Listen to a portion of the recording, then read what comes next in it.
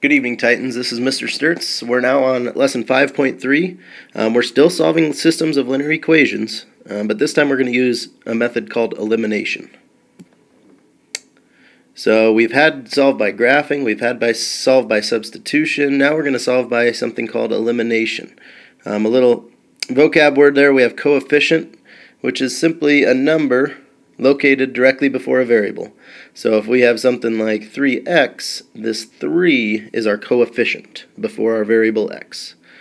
Okay, we have four steps to solve by elimination. The first step is we're going to multiply, if necessary, one or both equations. Sometimes we don't have to multiply any of them by a constant so we can get one of the variables, either x or y, to eliminate itself.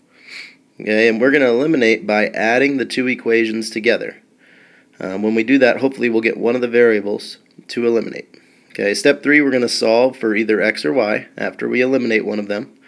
Step four is just like section 5.2, we're going to go ahead and substitute back in to the other equation, one of the two, um, to solve for that other variable x or y. In the end, we're going to get a solution. We're going to get an ordered pair, just like the previous couple days.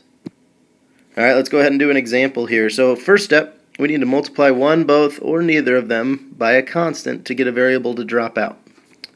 If we look at the y's here, okay, when we add, if we have opposite signs there, a positive 2 and a negative 2y, when we add them, they're going to eliminate each other. Okay, but look at the 3x and 3x, we're going to get a 6x.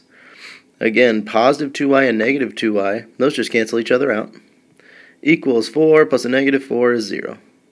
Okay, then if we go ahead and divide by 6, we know that x is going to be 0. 0 divided by 6 is 0. Alright, we have our x value. Let's go ahead and substitute it back in. Doesn't matter which one. Um, pick the easier one. Let's pick, let's pick the positive one. Okay, and we're going to substitute that in for x there.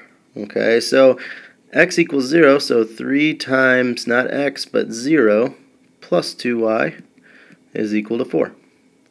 Okay, do the math now. 3 times 0 is 0. We're left with a 2y equals 4.